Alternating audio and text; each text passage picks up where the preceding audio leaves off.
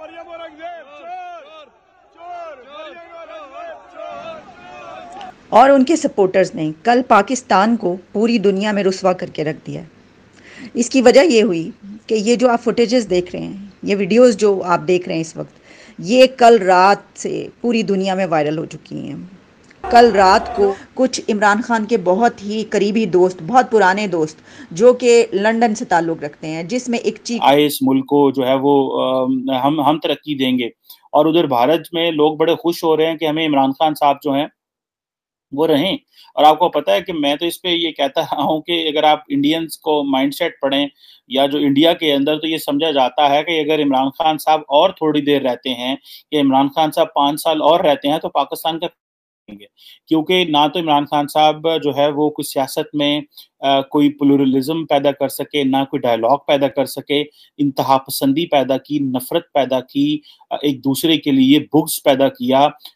लेकिन क्वेश्चन ये रहता है कि इमरान खान साहब जो सऊदी हुकूमत है, सुनने में आया कि उन्होंने इमरान खान साहब के सपोर्टर्स को जो है, वो पकड़ा है और उनको जेलों में डाल रहे हैं, कुछ सजाएँ दे रहे हैं, ताकि क्योंकि उन्होंने मस्जिद नबवी का जो तकदस पामाल किया है। मैं यहाँ पर बताता चलूँ कि बहुत सारे लोगों को इसका पता है, लेकिन जिनको नहीं पता कि मस्जिद नबवी वो जगह है जहाँ पे हमारे नबी मोहम्मद सल्लल्लाहु वसल्लम जो हैं, वो मदफून है, उनका रोज़ा मुबारक है और मक्का के बाद जहाँ पे जहाँ पे अल्लाह ताला का घर है, मक्का में उसके बाद मदीना की बड़ी वैल्यू है मुस्लिम दुनिया में। तो दोस्तों, आपने ये छोटे छोटे क्लिप देखे, इमरान खान के सपोर्टर्स फिर से बने हैं पाकिस्तान की बेजीती का एक बड़ा कारण। इन्होंने हाल ही में हज की यात्रा के दौरान पाकिस्तान के करंट प्राइम मिनिस्टर को घेर कर चोर चोर के नारे लगाए और बहुत सारी उल्टी सीधी बातें कही, जिससे ये न्यूज़ सारी दुनिया में फैल रही है। एक्चुअली में आप समझ सकते हो, हज ऐसी जगह है जहाँ पर मुस्लिम, सारे दुनिया के मुस्लिम देश के लोग आते हैं। हज में कोई भी नॉन मुस्लिम कर ही नहीं सकता, वहाँ जा ही नहीं सकता, ये भी एक सत्य बात है। पहले ये पूरा वीडियो देखते हैं, फिर वीडियो के अंतिम भाग में करते हैं इस टॉपिक पर डिटेल में बात। प्लीज़ चैनल को सब्सक्राइब करिएगा, वीडियो को लाइक करिएगा। अगर आपको ये वीडियो पसंद आता है लोग बड़े खुश हो रहे हैं कि हमें इमरान खान साहब जो हैं वो रहें। और आपको पता है कि मैं तो इस पे ये कहता हूँ कि अगर आप इंडियंस को माइंडसेट पढ़ें या जो इंडिया के अंदर तो ये समझा जाता है कि अगर इमरान खान साहब और थोड़ी देर रहते हैं कि इमरान खान साहब पाँच साल और रहते हैं तो पाकिस्तान का क्योंकि ना तो इमरान खान साहब जो है वो कुछ सियासत में कोई प्लूरलिज्म पैदा कर सके, ना कोई डायलॉग पैदा कर सके, इंतहा पसंदी पैदा की, नफरत पैदा की एक दूसरे के लिए बुग्स पैदा किया, बाकी लोगों को जो है वो हकीर समझा और खुद जो है वो समझते हैं कि जो मैं समझता हूँ वो ठीक है। आज वो आर्मी चीफ को धमकियाँ देते हैं, वो सदर पाक, वो वज़ीर आज़म को धमकियाँ देते हैं, वो चीफ जस्टिस को धमकियाँ देते हैं, वो इलेक्शन कमीशन को बुरा भला कहते हैं और पाकिस्तान में कोई बंदा नहीं है जो उनको पूछ सके कि आप ये क्यों कर रहे हैं, क्योंकि उनके पास सोशल मीडिया के ऊपर कीबोर्ड वॉरियर्स उनके साथ हैं। इसलिए ये एक्सट्रीमिज्म जो है ये सियासत में आपको मैं जो बहुत सारे लोगों को नहीं पता पाकिस्तान में इससे पहले भी बड़े बुरे हालात रहे। ठीक है जी? और एक्सट्रीमिज्म नाइन्टीज में भी रही जब जो सियासी जमातें पीएमएलएन एंड पीपल्स पार्टी थी इनकी लीडरशिप एक दूसरे को बड़ा बुरा भला और बहुत कुछ कहा करती थी। हम उस बहस में नहीं जाते अब एक, एक लंबी कहानी है उस सिलसिले में। लेकिन अगर आप इसको देखें कि आप आपका डेलीगेशन क्योंकि बहुत सारे पाकिस्तानी सऊदी अरब में पैसा कमाने गए हुए हैं अब इमरान खान, इसीलिए तो इमरान खान को पता है कि मेरे बहुत सारे फॉलोअर्स हैं वो सऊदी अरब में, बाहर के मुल्कों में हैं तो वो चाहते हैं कि मैं उनको वोट का हक दिलवाऊं। जब वो वोट का हक दिलवाऊँगा तो वो वोट मुझे देंगे और मैं कोशिश करूँगा कि मैं इलेक्शन जीतूँ कि नब्बे एक लाख शायद कहा जाता है कि पाकिस्तानी बाहर है तो वो सारा शायद जो पाकिस्तानी है वो इमरान खान साहब को वोट देगा और वो इलेक्शन जीत जाएँगे अगला। इसके लिए उन्होंने सर तोड़ की बड़ी कोशिश की और कहा जनाब कि ये वो जो पाकिस्तानी जो डियासोरा बाहर बैठा हुआ है, ये पाकिस्तान से मोहब्बत करता है, पाकिस्तान पैसा भेजता है तो ये वोट क्यों नहीं डाल सकता? इसको बाहर हक दिया जाए। और मेरा ख्याल है कि ये जो अभी हुकूमत है, ये इस चीज़ को अनडू करेगी, क्योंकि वो उसके लिए बहुत सारी तावीलात ढूंढते हैं। लेकिन क्वेश्चन ये रहता है कि इमरान खान साहब जो सऊदी हुकूमत है, सुनने में आया कि उन्होंने इमरान खान साहब के सपोर्टर्स को जो है, वो पकड़ा है और उनको जेलों में डाल रहे हैं, कुछ सजाएँ दे रहे हैं, ताकि क्योंकि उन्होंने मस्जिद नबवी का जो तकदस पामाल किया है।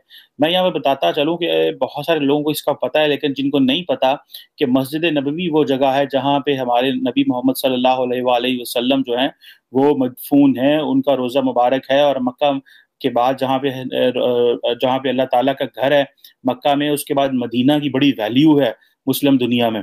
तो हम मुस्लिम दुनिया वाले जो मुसलमान हैं, वो वहाँ पे जाते हैं, नबी पाक के रोज़े पे जाते हैं, सलाम पेश करते हैं वहाँ पे और इमरान खान साहब के लोगों ने वहाँ पे सियासत करना शुरू कर दी, हुल्लड़बाजी करना शुरू कर दी, बदतमीजी की, लोगों को मारपीट की मस्जिद नबी में।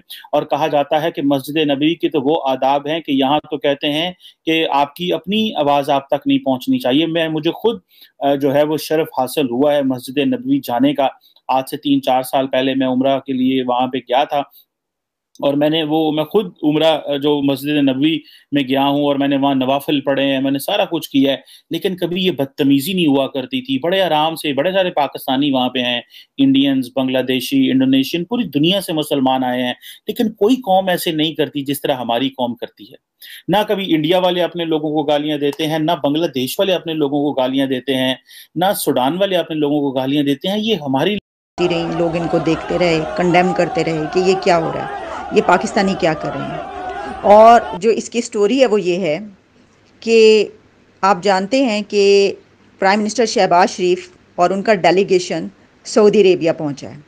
वो सऊदी अरेबिया का विज़िट कर रहे हैं। और इसके ऊपर मैंने प्रोग्राम भी किया था और आपको बताया था कि साढ़े सात बिलियन डॉलर का पैकेज जो है वो हो सकता है वहाँ से वो करवा सकें। और बहुत से दूसरे काम, उस पर हमने बात कर चुके हैं। लेकिन इसके अलावा उन्होंने वहाँ पर जो मुकदस मकाम हैं, जो कि मक्का और मदीना है, वहाँ पर भी जाना था।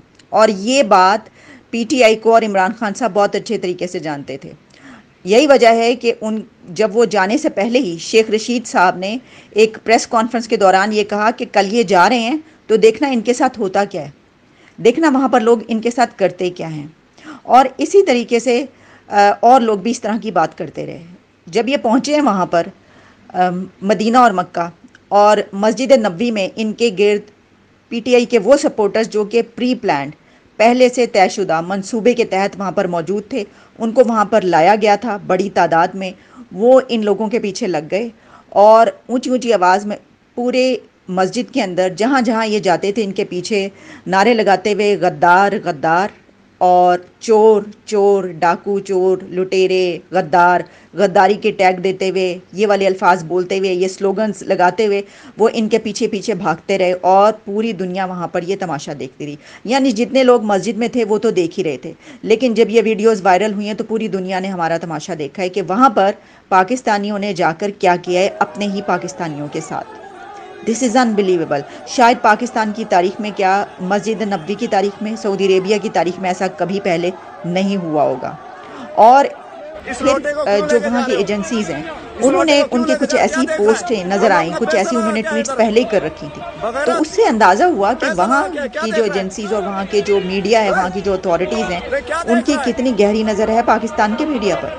क्योंकि एक दिन पहले ही वहाँ की अथॉरिटीज़ ने इस तरह के लोगों को उन पर चेक रखा हुआ था और देख रहे थे कि जो इमरान खान के फॉलोअर्स हैं, जो उनके पीटीआई के फॉलोअर्स हैं, वो इस तरह की ट्वीट्स कर रहे थे कि कल ये लोग वहाँ पे जा रहे हैं तो खबरें हैं कि इनके साथ तो बहुत बुरा होगा। इनके साथ तो अच्छा सलूक नहीं किया। देखना इनके साथ होता क्या है। ये सब बातें जब वो लिख रहे थे तो फिर वहाँ की अथॉरिटीज़ ने अपनी जो दूसरी अथॉरिटीज़ और एजेंसीज थी, उनको बताने के लिए ये, क्योंकि उनकी ड्यूटीज़ में ही शामिल होगा ना, कि बताया जाए कि क्या हो रहा है।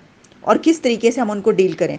तो उनको वो बता रहे थे और टैग कर रहे थे, ये देखो, इमरान खान के जो फॉलोअर्स हैं, ये लिख रहे हैं तो इसका मतलब ये हुआ कि कल ये वहाँ पर प्रोटेस्ट करेंगे तो इनके लिए जो सिक्योरिटी है, उसको टाइट किया जाए। तो फिर हमने वहाँ पर ये देखा कि इतनी बड़ी तादाद पाकिस्तानियों की, जिसको कि कहा जा रहा है कि वहाँ पर कुछ इमरान खान के बहुत ही करीबी दोस्त, बहुत पुराने दोस्त, जो कि लंदन से ताल्लुक़ रखते हैं, जिसमें एक चीकू नाम का उनका दोस्त है और इसके अलावा अनिल मसरत जो कि एक बिज़नेस टाइकुन समझे जाते हैं और हैं, और जिन्होंने इमरान तो दोस्तों, ये वीडियो यहाँ पर होता है ख़त्म। इस वीडियो में मैं बात कर रहा था इमरान खान के सपोर्टर्स के बारे में और मैम ने आपने इनको सुना, इन्होंने किस तरीके से एक्सप्लेन किया कि इमरान खान के सपोर्टर्स किसी भी हद तक जा रहे हैं। ये इमरान खान के दोस्त और बहुत सारे सपोर्टर इन्होंने पहले से ही प्री प्लान किया कि किस तरीके से वो नवाज़ शरीफ के छोटे भाई शाहबाज शरीफ, जो करंट प्राइम मिनिस्टर है, उनकी हज यात्रा के दौरान उनको घेर कर चोर, गद्दार अमेरिका के एजेंट और अमेरिका के बिकाऊ इस तरीके के नारे लगाएँगे।